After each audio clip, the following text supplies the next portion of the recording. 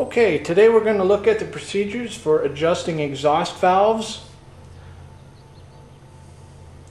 on an F-134 Hurricane. Now the service manual says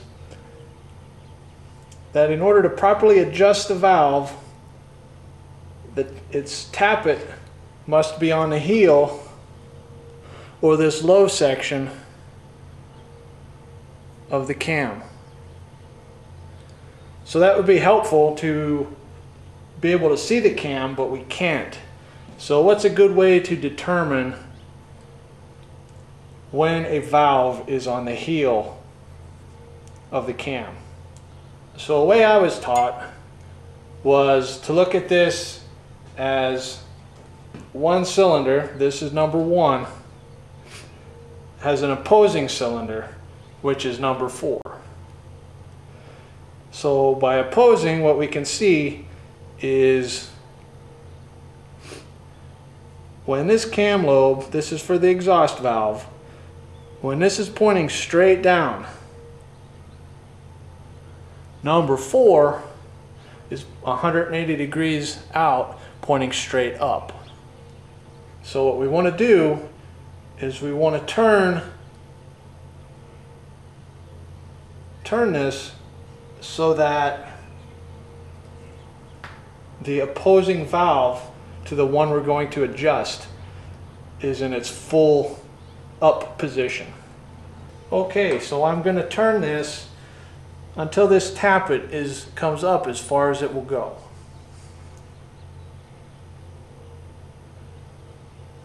And that looks like about right.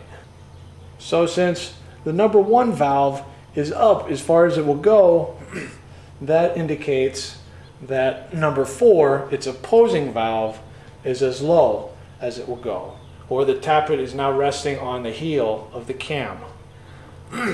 In order to adjust these, we're going to use two half-inch wrenches. One will fit onto the tappet, the other one onto the tappet adjusting screw. And we're also going to use a feeler gauge set at 16 thousandths of an inch. And we're going to measure the distance between the bottom of the valve stem and the adjustment screw. The feeler gauge should slide in with only slight pressure. You shouldn't have to force it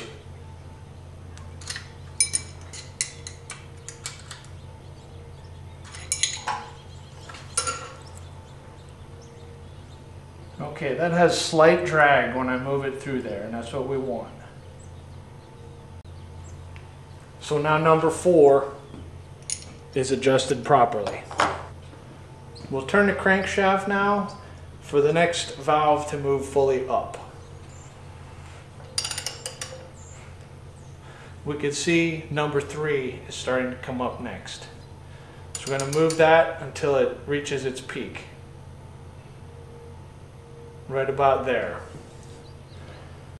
By opposing valves, we know number three is all the way up, meaning that number two is sitting on the heel of the cam. So we're now going to adjust number two. Take our feeler gauge. It's too loose.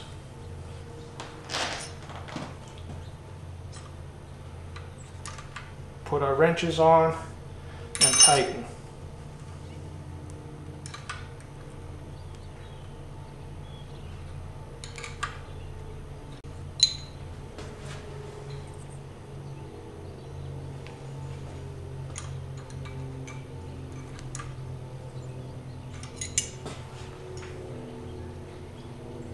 Remember you want slight drag.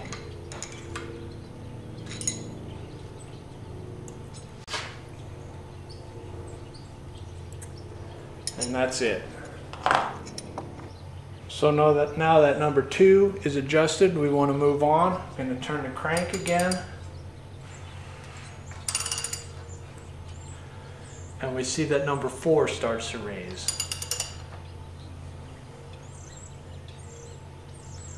Okay, that appears to be the peak. So now we're going to adjust number one. Okay, number one, we're going to check it. Feeler gauge, it's too loose. So we will adjust it.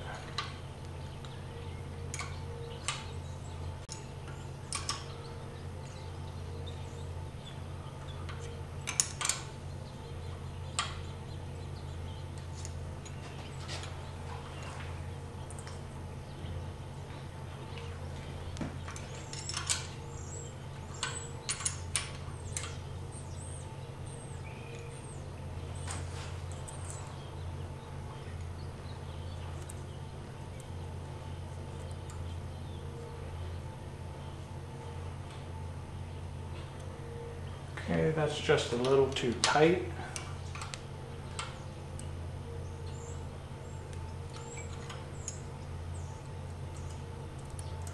Slight drag on the feeler gauge and number one is adjusted. Now we will turn the crankshaft some more so we can adjust the final valve.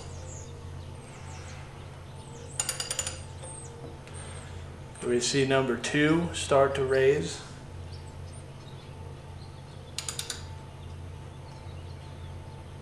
And now it's at its peak. So we're going to adjust its opposing valve, number three.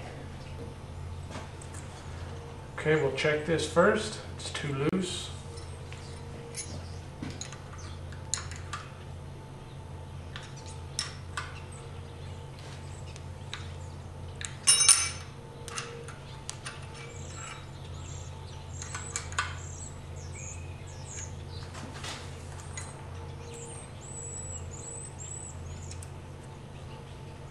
Slight drag.